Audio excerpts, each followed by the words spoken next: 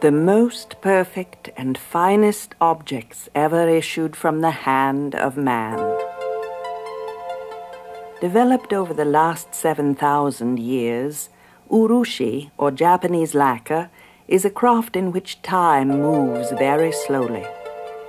Working with unlikely materials, viscous sap, powdered metals, bits of shell, the lacquer artist completes his work only after months or even years of patient labor.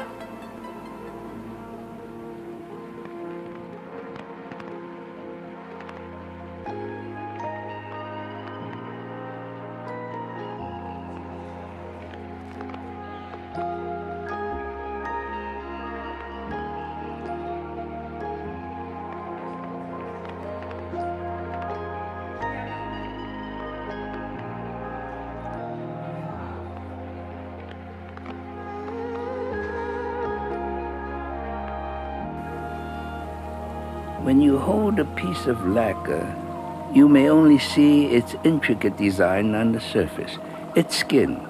But beneath the skin, there is flesh, and beneath the flesh, there is bone.